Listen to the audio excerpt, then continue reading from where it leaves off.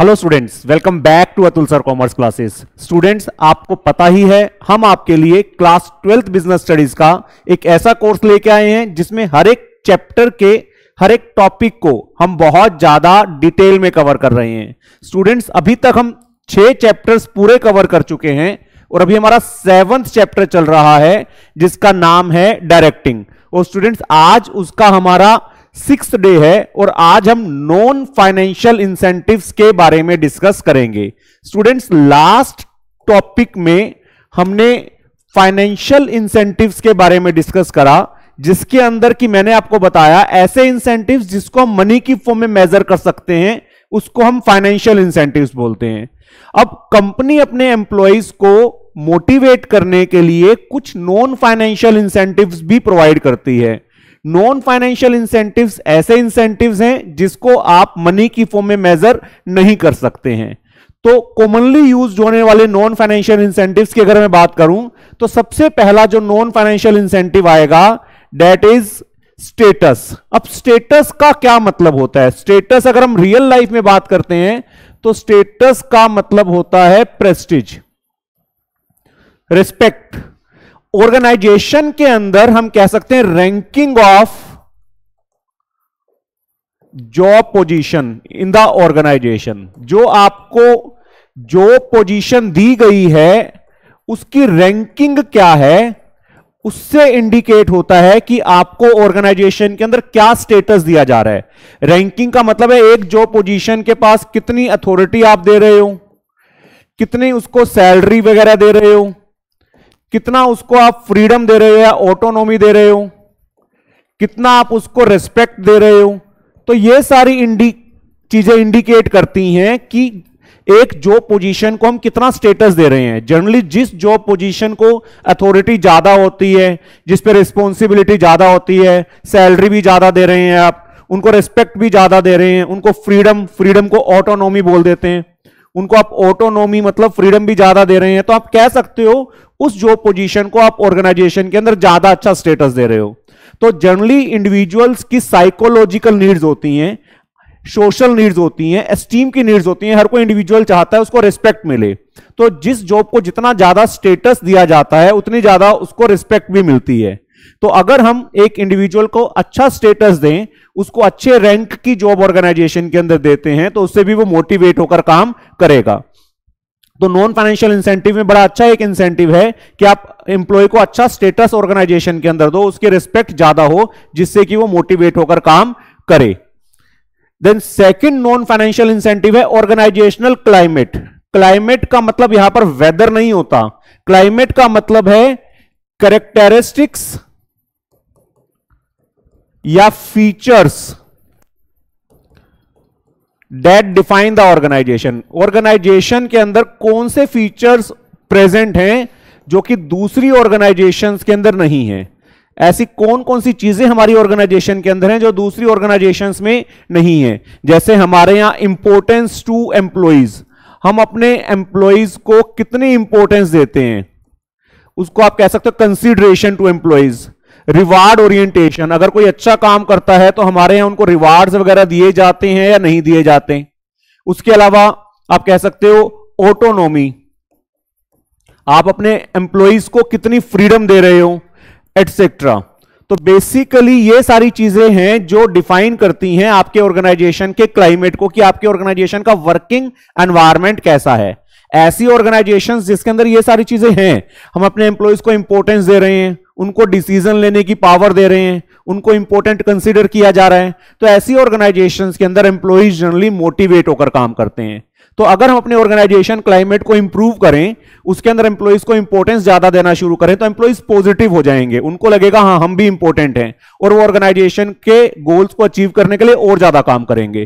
तो एक ऐसा ऑर्गेनाइजेशनल क्लाइमेट जो पॉजिटिव है, जहाँ एम्प्लॉइज को बहुत ज़्यादा इंपॉर्टेंस दी जा रही है, जहाँ बड़े पॉजिटिव मेजर्स लिए जा रहे हैं तो ऐसे ऑर्गेनाइजेशनल क्लाइमेट के अंदर एम्प्लॉइज जनरली मोटिवेट होकर काम करते हैं। देन करियर एडवांसमेंट अपॉर्चुनिटी हर कोई एम्प्लॉय चाहता है कि वो उसका करियर इंप्रूव होता रहे, उसकी ग्रोथ होती रहे। तो यहाँ पर आप एम्प्लॉय के ग्रोथ के बारे में सोचते हो। ग्रोथ के लिए क्या करना पड़ेगा? हमें उनकी डेवलपमेंट करनी पड़ेगी, ताकि वो हाइयर लेवल्स के लिए तैयार हो सके।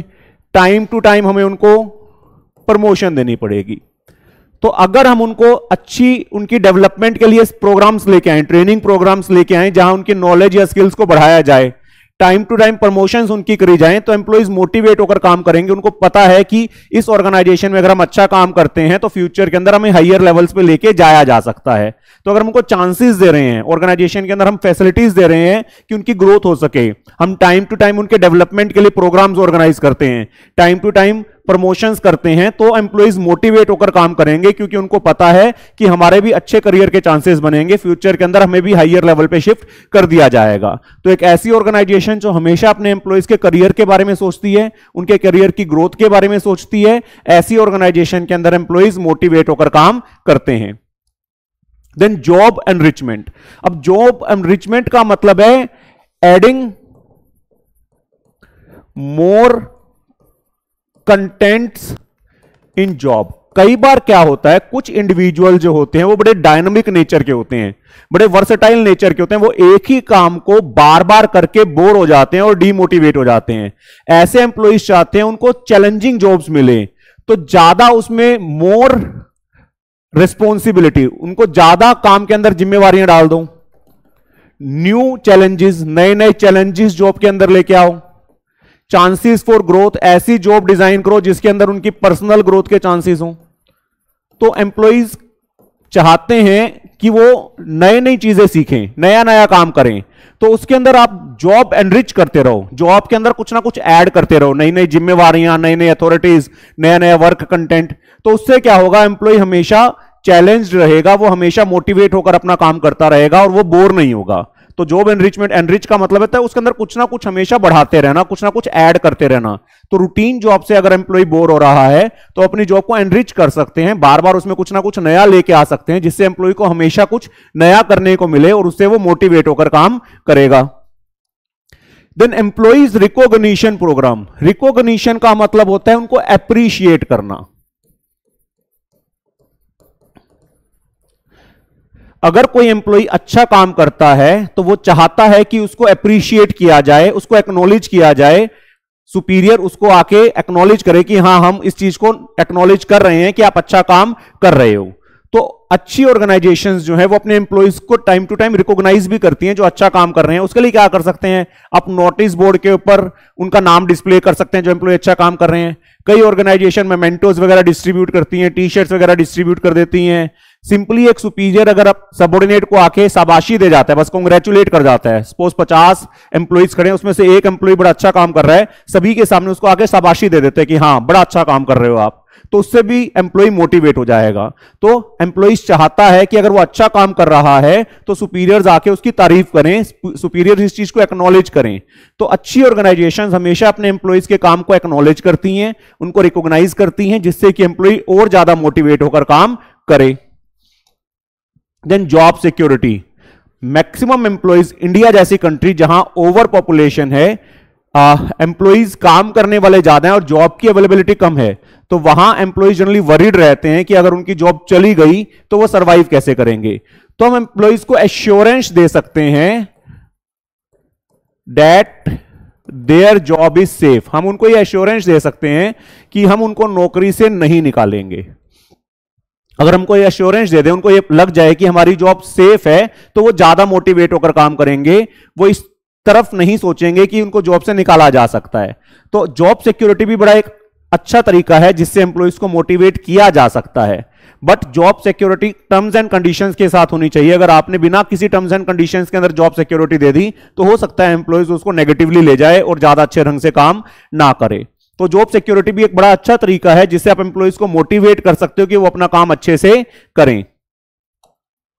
Then employee participation participation in decision making तो जनरली जब भी एम्प्लॉय से रिलेटेड कोई डिसीज़न लिया जा रहा है तो अगर हम उनको भी इन्वॉल्व करते हैं तो उनको मोटिवेशन मिलती है और वो ज़्यादा अच्छे ढंग से काम करते हैं। बड़ी बड़ी ऑर्गेनाइजेशन के अंदर क्या होता है? ज्वाइंट मैनेजमेंट कमिटीज होती हैं, जिसके अंदर वर्कर्स के रिप्रेजेंटेटिव्स को भी हम इन्वॉल्व करते हैं। जैसे कि कैंटीन कमिटीज हैं। कैंटीन के अंदर क्या सामान मिलेगा, क्या नहीं मिलेगा, उससे रिलेटेड जो डिसीजंस होंगे, उसके लिए कैंटीन कमिटीज बना दी।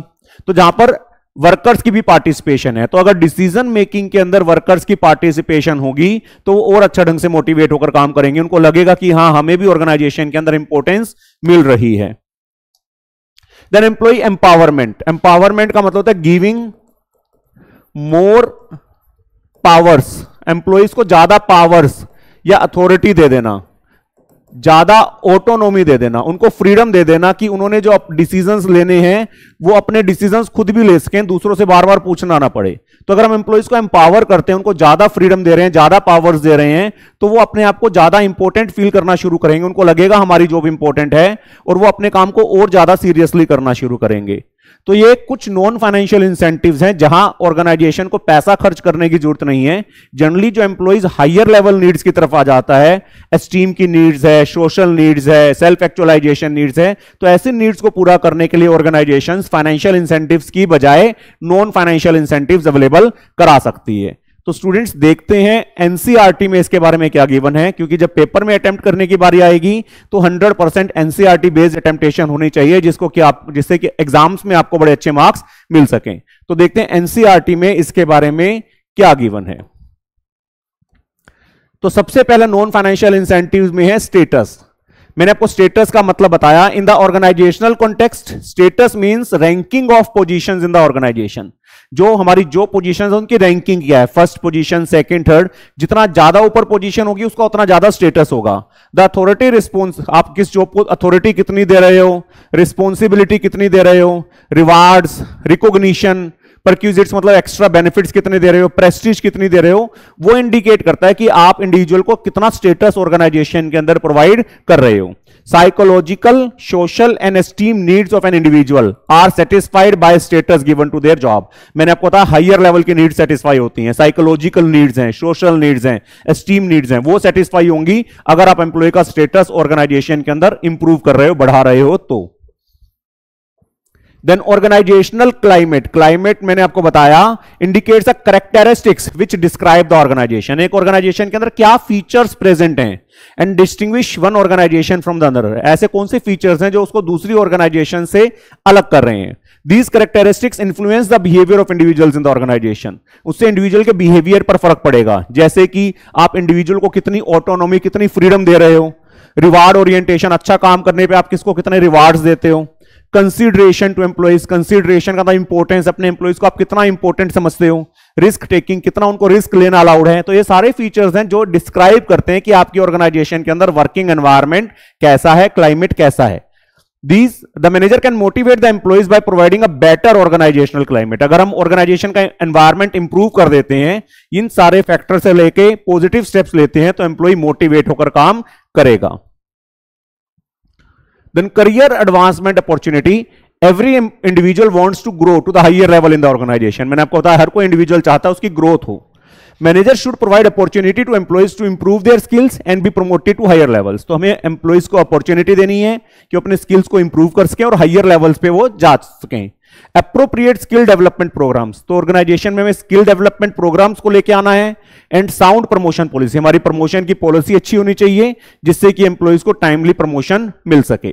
Promotion works as a tonic and encourages employees to exhibit improve performance अगर आप उनको प्रमोशन के चांसेस दे रहे हो तो टॉनिक का काम करेगा और एम्प्लॉइज अपनी परफॉर्मेंस को इंप्रूव करने की कोशिश करेंगे। Then job enrichment. Job enrichment is concerned with designing the jobs that include greater variety of work content, ऐसी जॉब डिज़ाइन करो जिसमें ज़्यादा वर्क कंटेंट हो require higher level of knowledge and skills उसमें ज़्यादा स्किल्स और ज़्यादा नॉलेज की ज़रूरत हो give workers more autonomy and responsibility उसमें वर्कर्स को ज़्यादा फ्रीडम मिल रही हो, ज़्यादा जिम्मेवारियाँ मिल रही हूँ।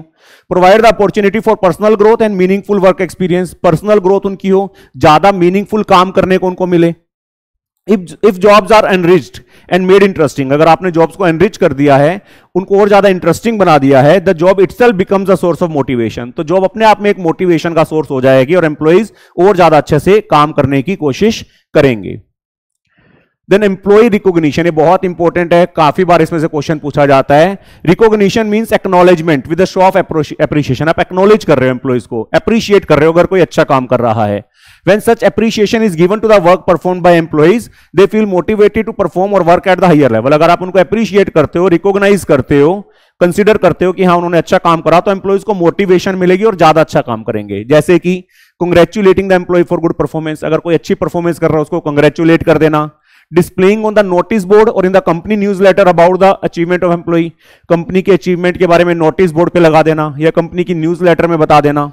इंस्टॉलिंग अवार्ड और सर्टिफिकेट फॉर बेस्ट परफॉर्मेंस जो सबसे अच्छी परफॉर्मेंस देगा, उसको अवार्ड देना या सर्टिफिकेट देना। Distributing mementos complimentaries like T shirts in recognition of employee services उनको मेमेंटोज दे देना टी शर्ट्स दे देना। Rewarding an employee for giving valuable suggestion कोई अच्छा सजेशन देता है उसके बदले उसको रिवार्ड दे देना। तो ये सारी चीज़ें ऐसी हैं जिससे आप एम्प्लॉय को रिकॉग्नाइज करोगे और एम्प्लॉय ज़्यादा मोटिवेट होकर काम करेगा। Then job security employees want their job to be secure मैंने बताया, हर कोई चाहता है उसकी जॉब सेफ़ हो सिक्योर हो। They want certain stability about the future income and work so that they do not feel worried on these aspects and work with greater zeal उनको चाहिए कि उनकी जॉब स्टेबल रहे इनकम स्टेबल रहे, ताकि उस तरफ़ उनको सोचने की ज़रूरत ना पड़े और सारा ध्यान वो काम पर लगाएँ। In India this aspect is more important considering the inadequate job opportunities and too many aspirants India के अंदर और ज़्यादा इंपॉर्टेंट हो जाता है. ओवर पॉपुलेटेड कंट्रीज़ हैं, जहाँ जॉब की अपॉर्चुनिटीज़ कम है कैंडिडेट्स ज़्यादा हैं. However there is one negative aspect एक नेगेटिव एस्पेक्ट भी है, अगर लोगों को लगता है कि वो अपनी जॉब नहीं उनकी जाएगी 100 परसेंट सेफ़ हो गई है दे में बिकम कंप्लेसेंट कई बार लेजी हो जाते हैं. तो जब जॉब सिक्योरिटी दो तो टर्म्स एंड कंडीशंस के साथ जॉब सिक्योरिटी हो, ताकि एम्प्लॉय लेजी ना हो जाए कंप्लेसेंट ना हो जाए. Then employee participation it means involving employees in decision making of the issues related to them जो एम्प्लॉयज़ से रिलेटेड डिसीज़न है उनमें उनको इन्वॉल्व करना, उनकी भी पार्टिसिपेशन होना। In many companies these programs are in practice in the form of joint management committees ये दो तीन वर्ड्स याद कर लेना, जिससे आइडेंटिफाई हो सके कि हम एम्प्लॉय पार्टिसिपेशन के बारे में बोल रहे हैं। Joint management committees work committees canteen committees तो यहाँ पर हम एम्प्लॉय से रिलेटेड जब डिसीज़न ले रहे हैं तो एम्प्लॉय को भी उसके अंदर हम इन्वॉल्व कर रहे हैं। देन एम्प्लॉय एम्पावरमेंट एम्पावरमेंट का मतलब मैंने आपको बताया means giving more autonomy and powers to the subordinates उनको ज़्यादा फ्रीडम दे देना, उनको ज़्यादा पावर्स दे देना। Empowerment makes people feel that their jobs are important तो अगर आप उनको ज़्यादा एम्पावर करोगे, ज़्यादा फ्रीडम दोगे, ज़्यादा अथॉरिटी दोगे तो उनको लगेगा हाँ उनकी जॉब्स इंपॉर्टेंट है। This feeling contribute positively to the use of skills and talents वो अपना पॉजिटिव एफर्ट्स करेंगे और ज़्यादा अपने स्किल्स को यूज़ करेंगे ऑर्गेनाइजेशन की ग्रोथ के लिए। तो स्टूडेंट्स ये सारे नॉन फाइनेंशियल इंसेंटिव्स हैं, जहाँ हम बिना पैसा खर्च करे एम्प्लॉयज़ को मोटिवेट करने की कोशिश कर रहे हैं। कुछ ऐसी चीज़ें जहाँ पर हमें मनी की ज़रूरत नहीं है, जहाँ हायर लेवल की नीड्स हैं, उनको सेटिस्फाई किया जा रहा है। तो उम्मीद है स्टूडेंट्स आपको बड़े अच्छे से ये टॉपिक समझ में आ गया होगा। जल्दी ही मिलते हैं नेक्स्ट टॉपिक के साथ। Thank you